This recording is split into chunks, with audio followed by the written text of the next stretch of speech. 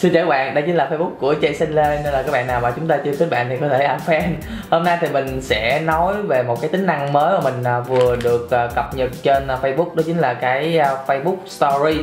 Cái này thì mình đã sử dụng trên Insta và cũng như là Snapchat. Thấy là hôm qua thì có một số bạn của mình đã sử dụng được tính năng này à, và theo mình được biết và cũng như là tìm hiểu thì đây chính là một cái tính năng beta nên là sẽ có một số bạn có trước một số bạn thì có sau.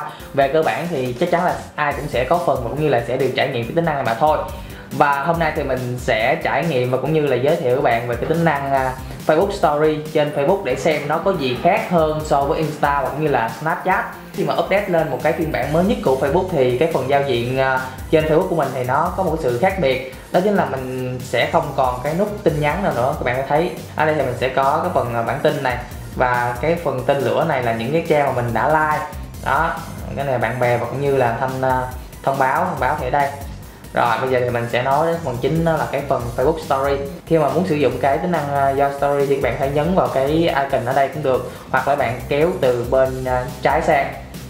Đây lúc này thì các bạn thấy cái gương mặt của mình rất là đẹp trai đúng không? Ok chúng ta có thể à, kéo xuống dưới này để thay đổi những cái filter khác nhau.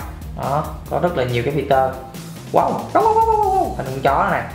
Đấy, cái này hình như là trên Prisma à,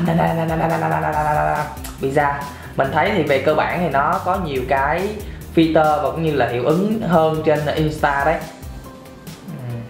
ba màu uh, filter màu mèo quá các bạn rồi ở phần này nữa thì mình thấy là sẽ có rất là nhiều cái khác nhau đây Oh, Armada, la la la la la la la mình thấy nó cũng rất là mượt mà. Để mình sẽ thử chụp một tấm để xem sao. Đây. Rau rau rau rau rau. Rau rau. Đấy. Và um, với cái tính năng uh, Facebook Story này thì các bạn có thể chụp ảnh và cũng như là video và chúng ta có thể chia sẻ trong vòng 24 giờ. Sau 24 giờ thì uh, chúng ta sẽ bị hủy đi cái phần hình ảnh và cũng như là video của chúng ta. Đấy chụp xong rồi các bạn có thể uh, share lên. Post lên này hay là để phần là store à, do story. Hoặc là các bạn có thể gửi bất kỳ đến những cái bạn bè nào của chúng ta. Này Oscar này. Đó, mình sẽ gửi đi. Rồi xem. Xong.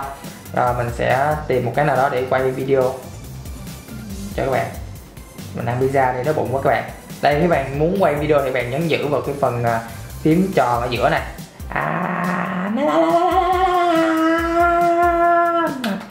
rồi xong xong video này nếu mà các bạn cảm thấy thích à, các bạn à, không muốn chia sẻ là thú của mình thì các bạn à, có thể à, share về máy để các bạn có thể lưu trữ cũng được luôn. Đây là một cái điều mình thấy cũng rất là hấp dẫn.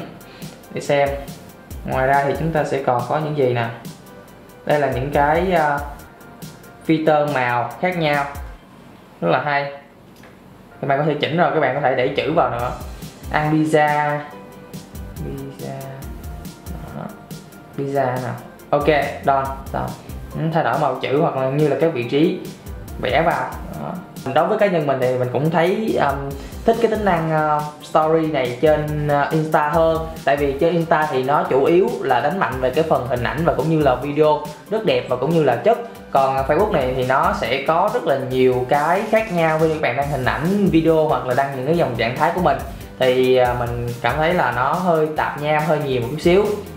Đây, đây bạn bè của mình đăng đây. Đó. chuyển qua. Từ khi mà có cái phần Facebook Story này thì có rất là nhiều bạn mình thấy là đã sử dụng cái tính năng này trên Facebook. Chào ngày mới bằng chai nước đậu rang ok. Đó có rất là nhiều bạn chia sẻ khác nhau. Rồi à, về cơ bản thì à, đối với mình mình thấy là cái phần uh, Facebook Story này ở trên Facebook thì đây là một cái, có thể là một cái trải nghiệm mới cho các bạn sử dụng. Nếu như bạn nào mà chưa sử dụng Insta, đối với mình thì đã là một người sử dụng Insta thì mình cảm thấy thích và cũng như là muốn sử dụng cái phần story này trên Insta hơn. Tại vì kiểu như là nó thiên về cái phần video và cũng như là hình ảnh. Còn Facebook thì nó có rất là nhiều cái khác nhau. Các bạn sẽ đăng trạng thái, đăng hình ảnh và cũng như là đăng video khác nhau à, tuy nhiên thì à, với Facebook à, Story trên này thì mình thấy là nó cũng có rất là nhiều cái hiệu ứng và cũng như là nhiều cái filter khác nhau để các bạn có thể bộc bạch và các bạn cũng có thể là trải nghiệm. Như vậy thì vừa rồi mình đã vừa chia sẻ nhanh với các bạn về một cái tính năng mới của Facebook đó chính là cái Facebook Story. Và các bạn nghĩ như nào về cái tính năng này trên Facebook? Các bạn có thích cái Facebook Story này hay không? À, các bạn muốn sử dụng Facebook Story này trên Facebook hoặc là các bạn thích sử dụng cái phần Story trên Insta hơn thì xin mời các bạn để lại comment bên dưới video. Và những bạn nào mà chúng ta đã trải nghiệm cái tính năng Facebook Story này thì à, các bạn thấy như thế nào thì cũng có thể để lại comment bên dưới video để cho mọi người được biết. Bây giờ xin chào và hẹn gặp lại các bạn trong những video lần sau. Cảm ơn các bạn đã xem video này. Mình là Jason. Bye bye.